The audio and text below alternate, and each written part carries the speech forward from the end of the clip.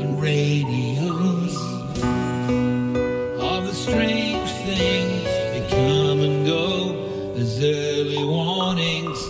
Stranded starfish have no place to hide.